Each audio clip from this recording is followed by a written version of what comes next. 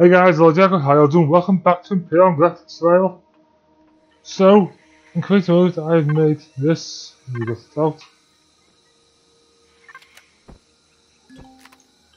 Our little hover vessel.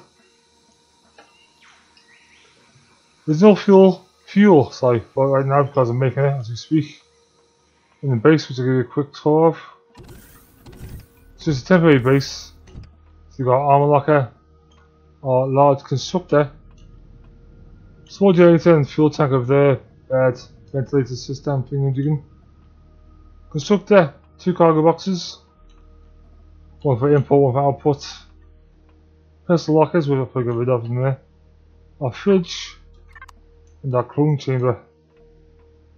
Right here, our small constructor, or portable constructor is right now making us fuel. So, so put in the hover vessel. Again, it is. There we go. Match. Oh, don't on it down just yet. Yeah, I've got time guys for you. I've got time lapse set for you guys. To build our hover vessel. So I hope you enjoy the time lapse. And I'll see you all in the next video.